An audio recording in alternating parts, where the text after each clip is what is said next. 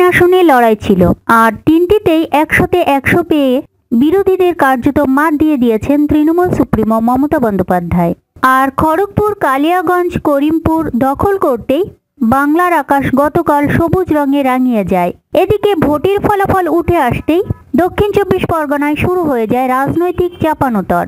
জানা গিয়েছে, উপনির্বাচনে তৃণমূলের জয়ের খবর আসতেই ধীরে ধীরে দক্ষিণ চব্বিশ পরগনায় তার আজ পড়তে থাকে। ঘাসফুল কর্মীদের জয়োল্লাসের মধ্যেই খবর আসে বিজেপি কর্মীর আক্রান্ত হওয়ার। খড়দায় এক বিজেপি কর্মীর বাড়ি ভাঙচুর করে। বিজেপি কার্যালয়ে তৃণমূল কর্মীরা ভাঙচুর চালায় বলে অভিযোগ, যদিও অভিযোগ অস্বীকার করেছে তৃণমূল।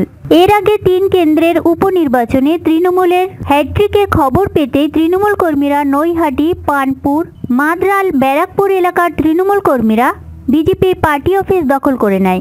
বিজেপির পার্টি অফিসে লাগানো হয় তৃণমূলের পতাকা। রাজ্যের দুই মন্ত্রী রাজীব বন্দ্যোপাধ্যায় ও শুভেন্দু অধিকারীর সঙ্গে সাংসদ মহুয়া মৈত্র তৃণমূলের এই জয়ের অন্যতম কাণ্ডারি। করিমপুরে মহুয়া মৈত্র ছাড়াও তৃণমূলের তরফে জেলার দায়িত্বে ছিলেন রাজীব বন্দ্যোপাধ্যায়। তারও সাফল্য কার্যত একশো শতাংশ।